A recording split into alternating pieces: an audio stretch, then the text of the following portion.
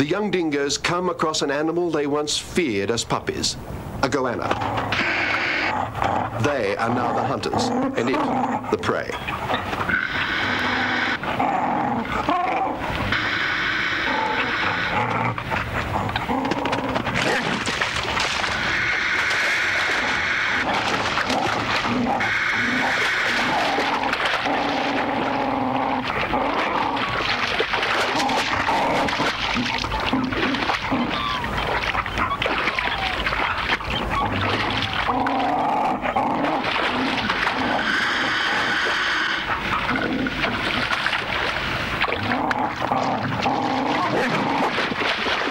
The goanna, like most reptiles, is a good swimmer.